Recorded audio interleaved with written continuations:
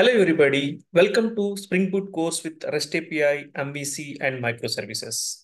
In this session, let's understand about Spring. What is Spring? What is Spring Boot? What is the relation between Spring and Spring Boot? All these details we are going to understand in this session. Let's begin. So in order to understand the Spring or Spring Boot, so we need to go to the Spring official website that is uh, spring.io. When you go there, you will be seeing the home page like this. The spring.io, will have Spring. Now it is by VMware. Earlier it is by Pivotal.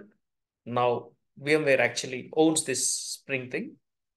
And you can actually see uh, what actually Spring does with Java. Spring makes Java productive, Spring makes Java modern, etc and etc and you can actually see uh, so many other things like uh, why spring what are different projects. And here you can actually see there is a spring boot then spring framework spring cloud spring data. These are all spring projects actually. And apart from that you can also see spring tools 4 that is uh, actually the spring tool suite to develop spring applications that can go as a plugin uh, to uh, other IDEs as well Okay, and we have something called Spring Initializr. That is going to be our next video. Okay, so let me actually take you to that spring.io directly over here. So spring.io, so you can actually see here all uh, related things. Spring makes Java productive.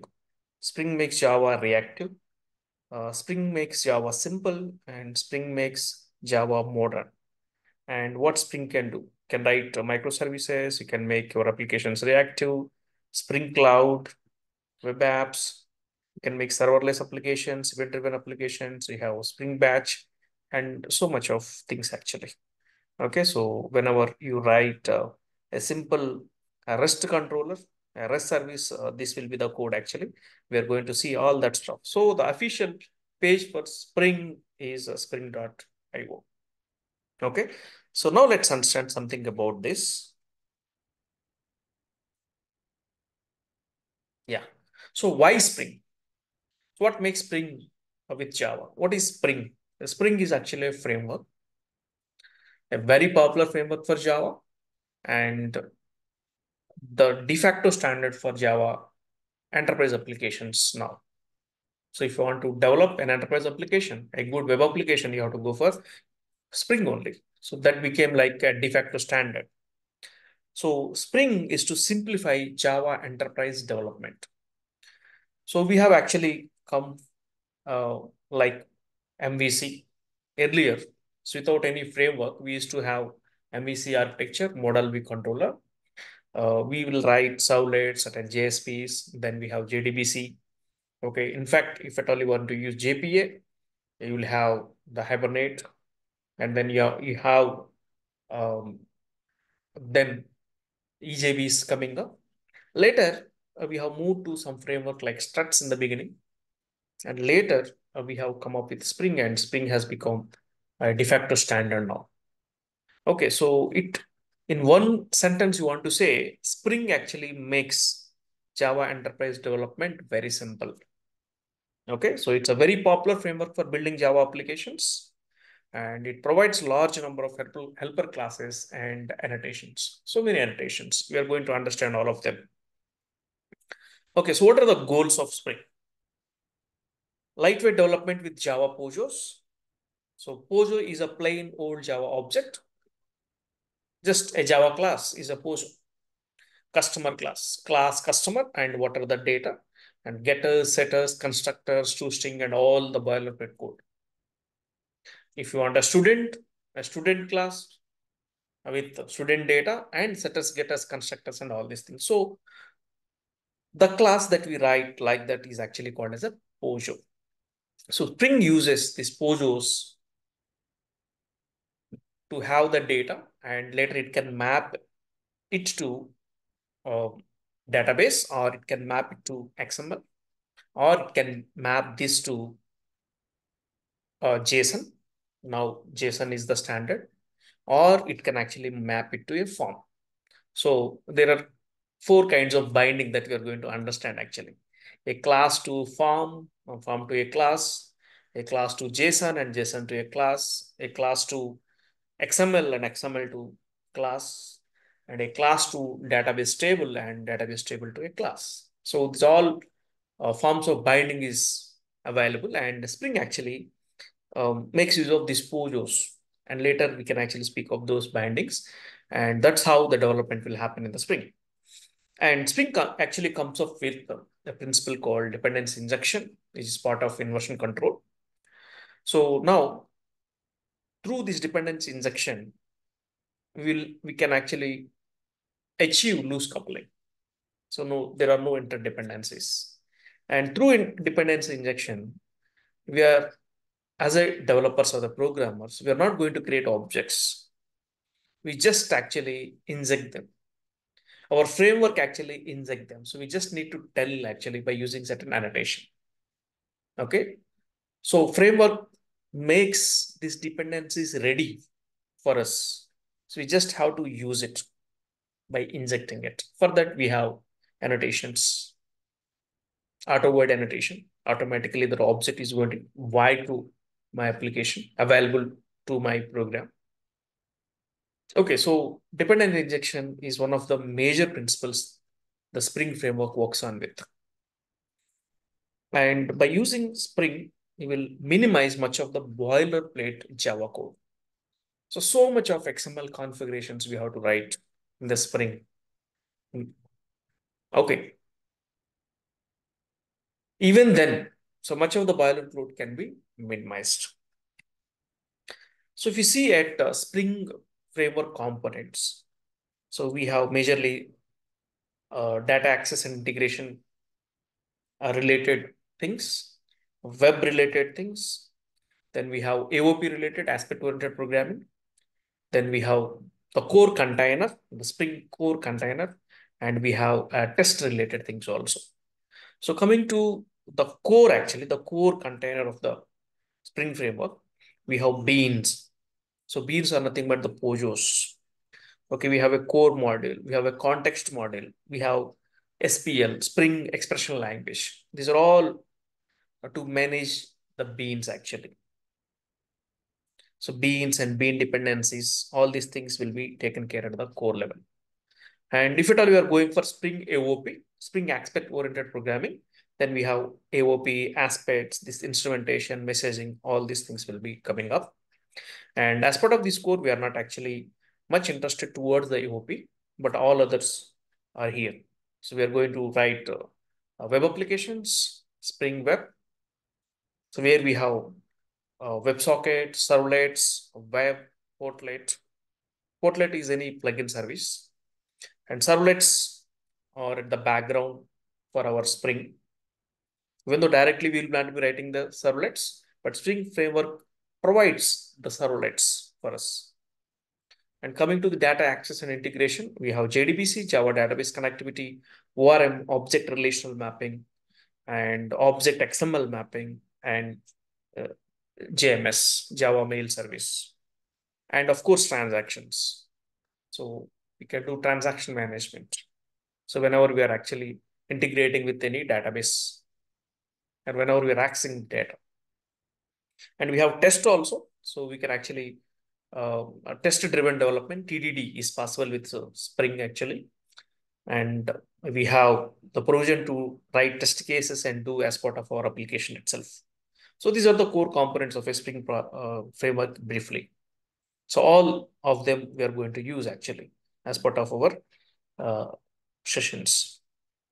So coming to the core container, so we have seen already beans core, uh, Spring Expression language and context. These are all for uh, factory for creating beans, manage bean dependencies. So these are this is actually the major uh, objective of this core container.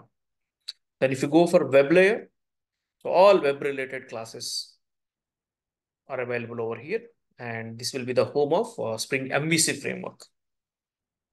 Spring Web means we'll have MVC model view controller. So we have the controller servlets will be there. We have a model object that is supplied by the Spring object where we can actually add data and send the model back to the view. And then we have data access layer, we have JDBC, ORM, object relation mapping, OXM, transactions, JMS. So object relation mapping integration with Hibernate. And Hibernate is an implementation of JPA, Java Persistence API. And JPA provides certain repositories and provides free CRUD operations to use. And we can straight away make transaction management with the help of certain annotations, transactional annotation. And we have so much, so many uh, JDBC helper classes. We have JDBC template and reduce your JDBC code by 50%. Then coming to the test layer, we have unit testing, we have integration, and we can actually mock objects. So Spring supports test-driven development, TDD, mock objects, and out-of-container testing. Apart from that, and Spring has certain projects also, so which we have seen actually in Spring.io. There are additional Spring modules built on top of the Spring framework. So we have Spring Cloud, we are going to use when we are working with microservices. We have Spring Data, and we have uh, Spring REST as well, and Spring Batch, Spring Security, Spring Web Services, and others. These are all the projects uh, on top of the Spring framework. Okay, so now why we require Spring Boot actually? So Spring framework is there um, since the beginning in before 2010 itself, we have the Spring framework developed by Rod Johnson and people using Spring framework. But what was actually uh, uh, the problem? Uh, why actually we have Spring Boot? Why you are speaking today Spring Boot? So what's the problem? So building a traditional Spring applications is really hard. Spring Framework is the de facto standard. But building traditional Spring applications is really hard because so we need to have so many jar dependencies to be added. So many jars we have to download and we have to add. So many. And there are so many configurations, XML configurations. And we need to install all our web servers database servers, everything manually. Okay, so these are all just to make your application ready. Just to get the basic application ready, you need to do all these things. So many jars have to be downloaded and you have to make them available at the class path. That's a tough thing because we have to find, we have to download, and we have to make them available in our class path. And we have to write so many configurations. Too much, too much configuration in the Spring. That is XML configuration. Of course, Java uh, annotation-based configurations also there. And we need to install servers as well. Okay, so to solve this, now we have the Spring Boot solution. What Spring Boot, Spring Boot does actually. Spring Boot works on top of Spring Framework. So Spring Boot makes it easier to get started with Spring application development. So building traditional Spring applications is hard. In order to make it easy, in order to make it simpler, in order to make it faster, the Spring Boot has come up. So it minimizes so much amount of manual configurations. You need not to do so much of manual configurations. Auto configurations will happen based on the properties files that you mentioned. And all jars actually will be av made available to your class path. The Spring Boot will take care. So it helps to resolve so many dependency conflicts. It uses either Maven or Gradle both are the project management tools, the built tools. We are actually going ahead with Maven here. In fact, you can actually do with Gradle also. Spring Boot uses Maven to resolve dependency conflicts and to get all the dependencies that have been mentioned as part of your project object file. And Spring Boot also provides an embedded HTTP server so we can get it get started very quickly. So you need not to manually install the server and you need not to set. Spring Boot by default comes up with the embedded HTTP server. So your application, whatever writing, straight away runs in that particular embedded server. So it provides Tomcat, Jetty, or Undertow. So we can actually choose whatever. The default, we are going to use Tomcat, which runs on 8080. Not only just the HTTP server, it will provide the database management system also. It will provide H2DB. So you can straight away create some tables, some database and tables in the H2 and we can actually work. So it makes, Spring makes actually Spring development so easy. So if you go actually and look at that spring.io about Spring Boot, it actually written like this. So from it is from the official page of the spring.io. Spring Boot makes it easy to create standalone production grade Spring based applications that you can just run. You can simply create a Spring application. I will show you how very soon. Okay, and what are the features? It creates standalone Spring applications and it has embedded Tomcat, Jetty or Undertow. So directly you have the server available and your code that runs in that particular server. So you need to deploy separately WAR files into your server. Otherwise, we have to create a WAR file, WebArchive file, and we have to deploy into the server. But now you have directly the embedded server. So whenever you run, you just say run on the server and it will run. It, it is so easy, so fast. And Spring Boot provides opinionated starter dependencies to simplify your build configuration. Spring Boot provides the starter dependencies. So you want to connect to database, it says use Spring Data. And you want to connect to database, require a driver. It will provide you the driver. It will give you the starter dependency for that. You want to write web application, it provide you Spring Web, the a dependency. So that you can quickly start your application and automatically the configurations are going to get built. So automatically configure Spring and third-party libraries wherever possible. Provide production-ready features such as metrics, health checks, and externalized configuration. So we have for that, we have one Spring project that is called Spring Actuator. With the help of that, we can actually do this metrics and health checks. Absolutely no code generation and no requirement for XML configuration. In the Spring framework, we used to have much of XML configuration. And in the Spring Boot, no XML configuration, absolutely no XML configuration.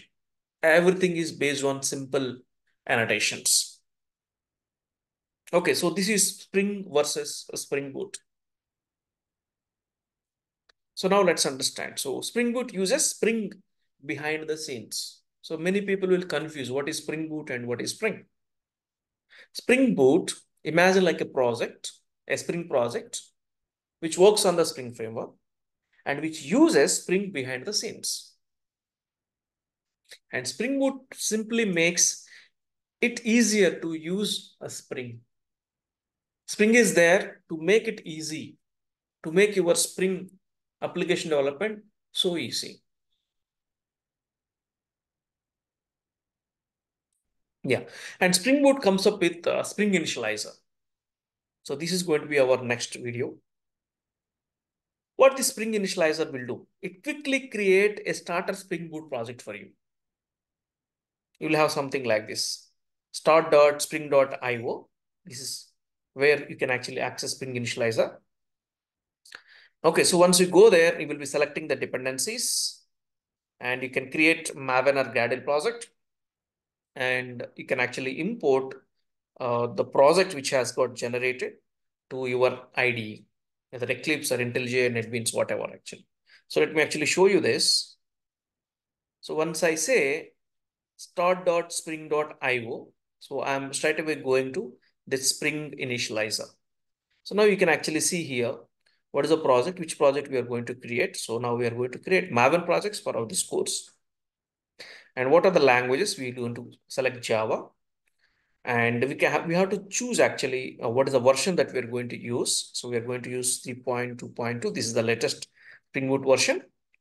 Spring 3, so we have 3.2.2 and we have of course snapshots also. It's not recommended to use the snapshots. Then we have to give uh, the project metadata, the project coordinates, otherwise we can say what is a group and what is uh, the artifact project name. Okay, so the name of that artifact and description of the project and what is the package in a group and what is that particular package. So what kind of packaging you want? You want a jar packaging or var packaging? By default, Spring Boot actually takes jar packaging only. And which version of the Java you are going to use, 21 or 17? So Spring Boot 3 requires minimum 17. So that's why uh, it's asking 21 or 17 because both 17 and 21 are stable versions. They have LTS support actually. So here you need to uh, provide the details and we can actually add dependencies over here. So for example, I am doing a web application. So I need to go for Spring Web. So I need to just type web. I will actually get Spring Web actually here. So Spring Web is to include uh, is to build web applications, including RESTful services, and of course MVC applications also. And when you say Spring Web, you are going to have this Apache Tomcat available as the default embedded container. You have the server container that is going to come up with Tomcat. In the same fashion, you, you can actually select so many. For example, you want Lombok, you can actually do Lombok. Java annotation library, which helps to reduce boilerplate code. So it's a bean management thing. So like that, we can actually go for, uh, let's say, Spring Dev Tools. So Spring Dev Tools will provide faster application restarts, live re reload. Okay, so when you when you actually have Spring Tools, then your application need not to be deployed again and again. So your application will automatically get restarted when you change something. So I'm going to explain all these uh, dependencies with the starter names actually. Spring Boot Starter Web, Spring Boot uh, Dev Tools, okay, Lombok, and we have starter test, we have starter data JPA, we have starter data REST. Okay, so, so many are there actually. I'm going to tell you all of these things. So here, uh, by using Spring Initializr, we can actually make our project and we can actually generate this project and we can import this generated project into our IDE quickly. So the point here, what we're going to discuss is, so Spring Boot provides you a Spring Initializr so that you can quickly create a Spring Boot project and you will have all the dependencies available and automatically those configurations will be done. So you don't have to do manually any configuration. Automatically it will happen whenever you add dependencies. Okay, of course, this we are going to discuss uh, in the next video. Right, so as we discussed, Spring Boot contains embedded server and Tomcat, Jetty, Undertow. So by default, we are going to have this Tomcat whenever we have the dependency Spring Web. So we need not to install any server separately and we need not to set it. So when the jar is generated, right? In the starter project, the jar file is going to get generated, right? The jar is going to have all the code that you have written and uh, the server also. So if at all we want to run the jar from the console, we can actually run like this java hyphen, whatever the jar file we have created. So this jar is going to have the code and the Tomcat. And if at all you want to run from the IDE, straight away we can actually run it. Now let's understand some Spring Boot misconceptions. So people uh, will confuse with Spring Framework and Spring Boot. There are certain misconceptions. Let's now understand. So firstly, does Spring Boot replace Spring MVC, Spring REST, etc.? So we have these all Spring projects, right? Spring MVC, Spring REST, and we have Spring Data JPA. Okay, and we have uh, so many other Spring test is there, dev tools. So these are all the projects on it, Spring security, etc. So does Spring Boot replace all these things? No, not at all. Spring Boot actually uses these technologies, uses these Spring projects. These are all part of the Spring framework, right? So Spring Boot uses them and makes production ready applications. makes your development easy. So Spring Boot uses all of them and creates you quickly a project for you. Just if at all you want to use MVC, just need to add one dependency. You want to use Spring REST, add one dependency. You want Spring uh, use Spring Data, JPA, add one dependency. Right? So Spring Boot actually uses this technology. It's not replacement for any of these things. Next, does Spring Boot run code faster than regular Spring code? No, not at all. Behind the scenes, Spring Boot uses same code for Spring Framework. Spring Boot is about making it easier to get started. It minimizes much of the configurations. But in the backend, you have the Spring Boot. Behind the scenes, you have behind the scenes, you have the Spring Framework. Spring Boot actually makes it easier to get started with. It pulls everything and makes it ready. So Spring Boot does not run faster and it's not actually different from Spring Framework. Right? This is one misconception. So Spring Boot run code faster than regular Spring code? No. Behind this, behind the scenes, Spring Framework is only there and Spring Boot just uses them makes you uh, to develop things faster, gives you so many things so that it becomes easy for the developers. Then, do I need a special ID for Spring Boot? In order to develop Spring Boot applications, you require a special ID? Not at all. You don't require a special ID. Even though Spring Team provides you Spring Tool Suite, that is Spring Tools 4, we have seen actually there, right? And this STS, the Spring Tool 4, available as a plugin also. So that's what we are going to see here in our Eclipse. So in Eclipse, we'll have that Spring Tools plugin installed by going to that marketplace so that we have discussed in the previous video and we will use it. Okay, so not a requirement. Whatever the ID you just you like, you can actually use it. Even you don't have the plugin also, it's fine. You can use Spring Initializr. Every time you can go to start.spring.io, create the project, generate the zip file, unzip it, and import to your IDE. That is how you can actually do it. If you have a plugin, straight away you can actually do it. Okay. Yeah. So this is about uh, the simple introduction to the Spring framework and uh, Spring versus Spring Boot briefly. Hope you have understood. The hope to see you in the next video where we are actually going to use Spring Initializr to create our Spring Boot projects. Thank you. Take care.